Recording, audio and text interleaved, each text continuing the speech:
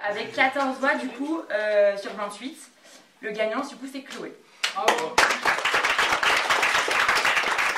J'ai fait beaucoup de théâtre, donc euh, c'est vrai que je me suis dit que ça collait à mes compétences euh, de ce que je savais faire. Quoi. Et, euh, comme je voulais participer au magistérium, je me suis dit allez l'éloquence, moi je suis sûre d'y participer. Ne peut-on que gagner lorsque l'on n'a rien à perdre? Alors perd-on toujours quand on n'a rien à gagner? Gagne-t-on à perdre ou perdons-nous à gagner? Peut-on gagner toujours et ne perdre jamais? N'avoir rien à perdre ou perdre ce que l'on a à gagner mais de quoi parle-t-on? En fait, euh, j'ai fait euh, 14 ans de théâtre et j'ai fait mon propre one-man show. Donc, euh, en fait, c'est naturel. Enfin, c'est un peu prétentieux de dire ça, mais c'est très naturel pour moi de faire ça. Quoi.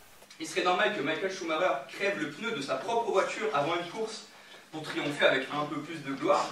Il serait normal aussi, si vous êtes bon conducteur, d'arriver en état d'ébriété le jour de votre propre permis dans le simple but de compliquer un peu les choses. J'ai trouvé ça très bien. Enfin, je trouvais qu'il y avait un, bon niveau. Puis pour des gens qui, des fois, euh, ont jamais trop fait d'oral enfin, ou des choses comme ça, je trouvais que enfin, vraiment il y avait un, un bon niveau. Et euh, au début, j'étais hyper confiante parce que je me connais euh, à l'oral, tout ça. Et puis après, j'ai dit, ah, en fait, euh, non, parce qu'ils font bien quand même. Mais franchement, je les félicite et parce que c'était bien. Et puis je sais que je peux compter sur eux après pour l'écriture sur, sur le magistérium. Donc ça sera cool, quoi, je pense. Allez-y, fermez les yeux. Donc vraiment, fermez les yeux. Et imaginez-vous dans la ferme de Patrick. Vous sentez cette odeur Ce purin Cette bouse C'est normal. C'est la porte du micro-ondes du magistère qui est restée ouverte. Alors j'ai passé avant tout un très bon moment à l'occasion de cette sélection des candidats pour le magistérium, puisque euh, force est de constater qu'il y a un excellent niveau euh, des quatre compétiteurs, à la fois dans le fond et dans la forme, puisque euh, j'ai découvert euh, des textes qui étaient riches de références littéraires, de références historiques, de références contemporaines, avec des candidats qui n'hésitaient pas à, s'engager, à aller de l'avant, à donner de leur expérience, parfois de leur opinion. Je vous replace dans le contexte. États-Unis, hiver 1846. Un froid glacial règne dans l'état du, Mass...